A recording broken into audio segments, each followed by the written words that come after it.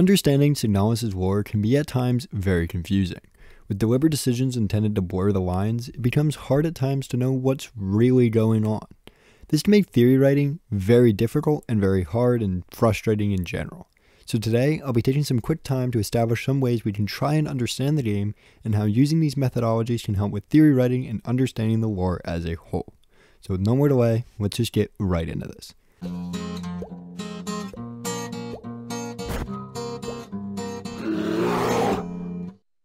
So to begin, the simplest way that theories are created is via connected evidence.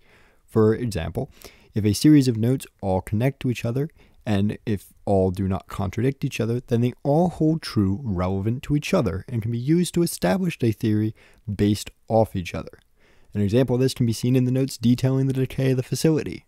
All notes regarding it do not contradict each other, but rather establish a chronological timeline of what occurred. However, these pieces can only really be used to establish a theory or idea within the bounds of the evidence meaning it can't be used to determine information regarding, for example, if the facility is actually real, or just a copy of the facility, or if it's from outside reality. That would require differing evidence and differing theories to prove. This connection evidence can also be used on a smaller scale as well, for example, because the Kolibris in the terminal Rotfront ordered an SMG, and there is an SMG on her desk, we'd assume that the SMG was in fact the one she ordered. So this type of evidence and this type of theory writing just proves small, connected evidence and ideas. Signalis, however, doesn't make life easy. Usually in theory writing in other games, one would only really have to use these connected evidence to create theories. However, Signalis does, as I said, blur the lines between reality and, well, confused reality. So in order to theory right, we must be able to sometimes reject certain evidence. Whenever possible, though, one should not reject evidence. For example, I try in my theories and videos to reject no evidence, and when I do reject it, I often explain the rejection in the video itself. But how can one reject evidence? Well, the rejection of evidence isn't something you just do randomly. That is called cherry picking, and just because evidence disagrees with you, or even with an established chronology, doesn't mean it can just be rejected. To reject evidence, there must be sufficient reasoning to question the validity of it. If it's a note, maybe its author has bias or perspective that makes it non objective. For example, the diary of someone who is corrupted or someone who wouldn't be able to understand what is actually going on can be questioned in the validity of it. Or in Signalis' case, maybe a room or event has questionable plausibility, so you doubt if it actually occurred. For example, the non normal rooms of nowhere or the plate of eternity scene. However, just because you have sufficient reason to reject a piece of evidence doesn't mean you're exactly in the clear theory writing yet. Having rejected a piece of evidence, you must fully reject that piece of evidence.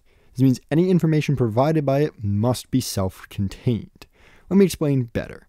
For example, if I reject nowhere as being a room that cannot resist within reality, it's not real, nothing in it is real, then I cannot use any evidence within nowhere for arguments about reality because it's not real.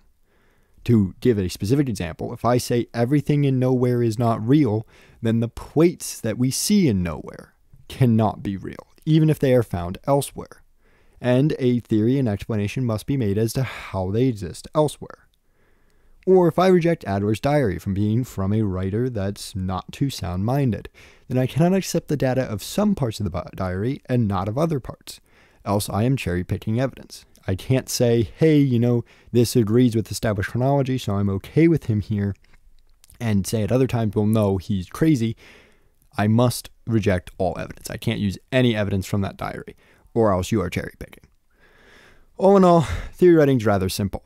It is difficult in Signalis because a lot of evidence seems to contradict each other or seems to just blur some lines. And if you know how to properly get rid of or selectively choose evidence, it can make life a lot easier. Don't cherry pick evidence and don't try to remove as much evidence as you can. Try to work with as much of it as we possibly can in a moment.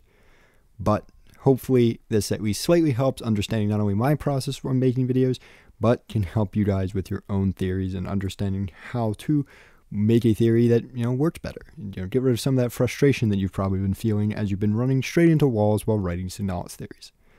If you'd like to speak to other Signalis players or work on getting a greater understanding of the game as a whole, I hopefully have working links to my Discord linked below. This has been Cristiferbeast, though. I hope you enjoy, and I hope to see you all, well, next time.